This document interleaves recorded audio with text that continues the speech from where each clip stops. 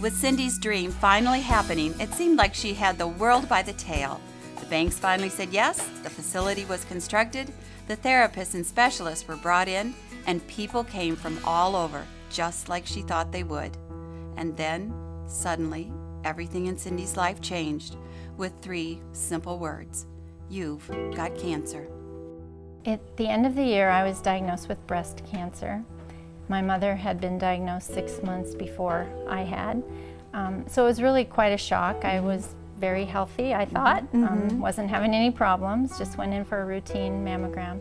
But ended up having surgery in January and then began chemotherapy in February and finished that at the end of May.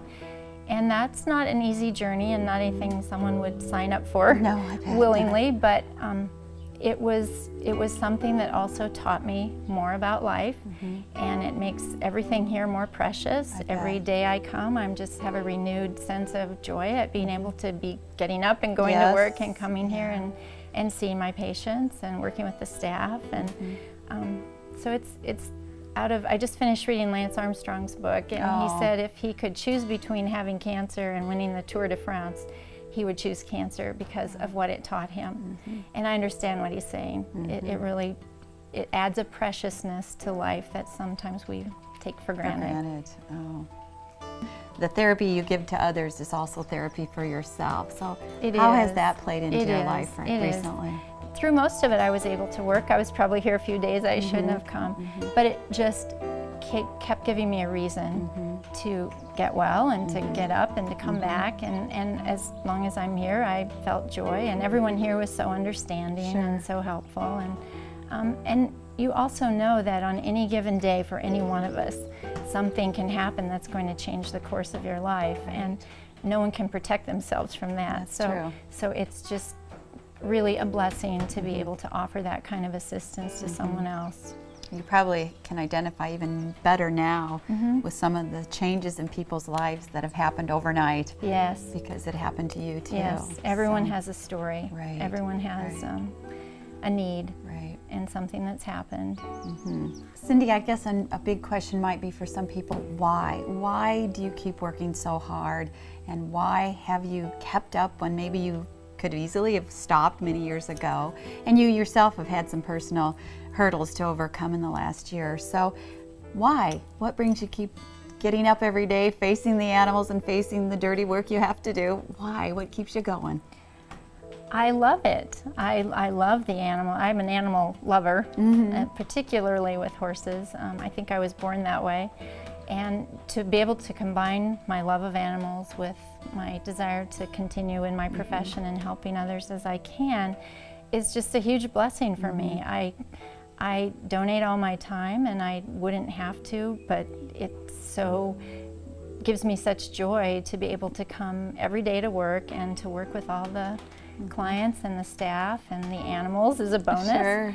Um, and it's not easy. Funding's always scary. We're never sure um, about reimbursement. There is no reimbursement for the horses, so I mm-hmm. have to absorb that cost. Um, but it's still, at the end of the day, when someone is able to talk or walk or think or mm -hmm. remember mm -hmm. in ways that they hadn't been able to do before. And we get a lot of um, difficult clients here who've been other places and maybe haven't had so much success. So you're facing a lot of discouraged clients. We, yes, yes um, initially, but yeah. it doesn't take, take very long, long yeah. for them to, you know, mm -hmm. regain some hope. And mm-hmm that's just um, what we try to do. We sure. try to offer as much hope and as much help as we can. Right, and right. that's what makes it all worth it. Oh, wonderful. Every time someone is successful yeah. and we feel like we're really making a difference, mm -hmm. then it's worth it to all of us. There's a saying you like to quote, and that is um, you make a living by what you do, but you make a life by what you give.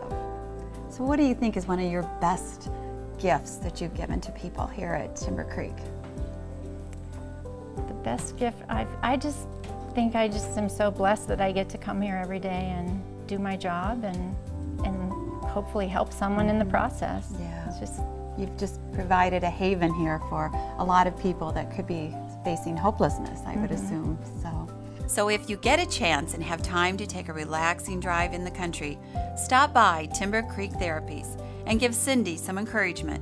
Discover this incredible sanctuary for healing And while you're there, make sure you give Jack plenty of attention, who is not only a story of his own, but he walks right along with clients during therapy as if he were the therapist himself. And maybe even talk about football with former NFL player Merv Krakow. And don't forget to talk to Meg about her passion for horses.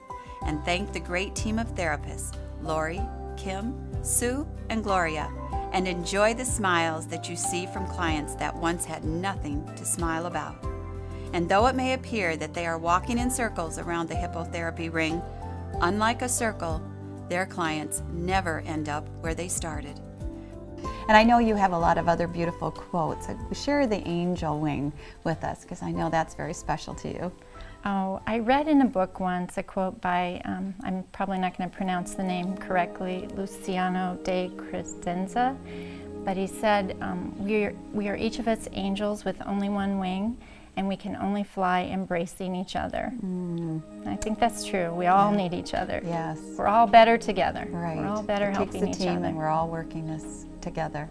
Oh, I believe there are angels among us, sent down to us from somewhere up above. They come to you and me in our darkest hours to show us how to live, to teach us how to give, to guide us with the light of love.